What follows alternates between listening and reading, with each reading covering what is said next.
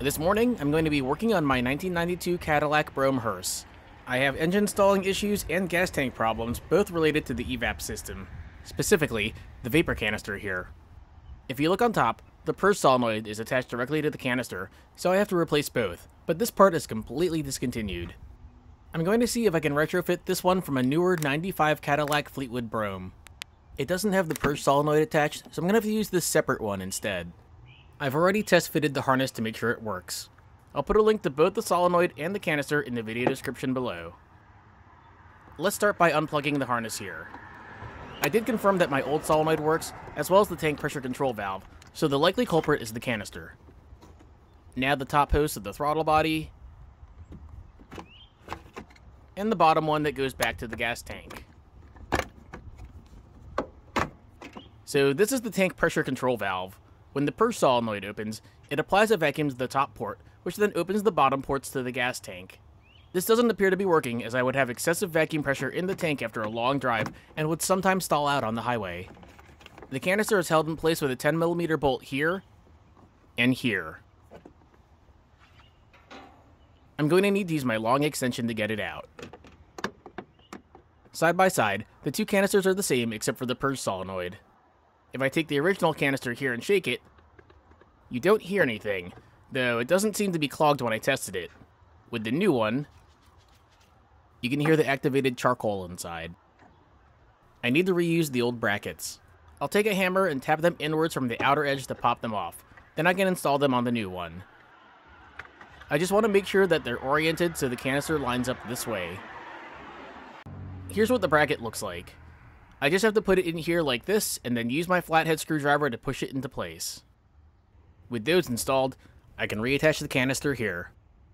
I connected the line from the tank pressure control valve to the bottom port on the canister.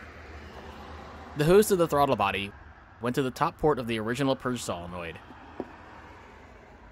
That should be this port on the new one. So it should sit like this.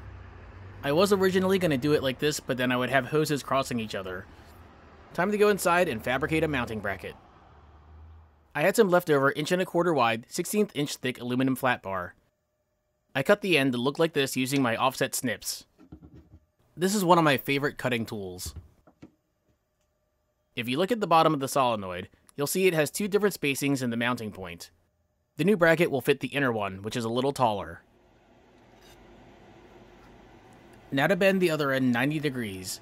I want it so the bottom of the solenoid sits just above the canister. I left a 3 quarter inch tail on the end. The bracket is going to sit right about here. Now to drill a hole. I've marked the hole with my center punch, and I think I'm going to use a 5 16 inch drill bit.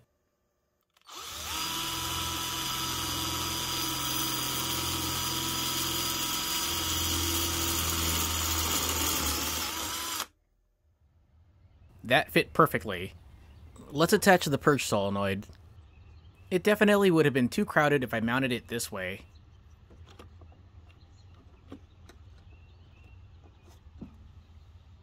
Now to connect the hose to the throttle body to the top port.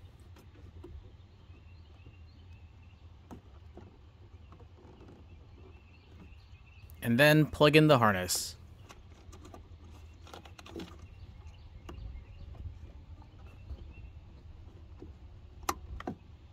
Finally, attach the other port on the solenoid to the top port on the canister with quarter inch fuel rated hose.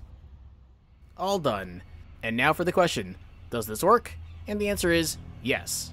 I've already been on six two hour plus long trips with the Caddy, and there's no more engine stalling or even a hint of hesitation. I also used to have issues filling the tank after a long drive, as in, no more gas would go in even though the tank was over half empty. My workaround at the time was to install a check valve in place of the tank pressure control valve.